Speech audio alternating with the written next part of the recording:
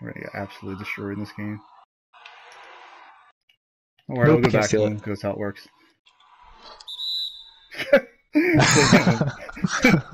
kind of want to save that too, but I mean, of course, it's not going to go our way.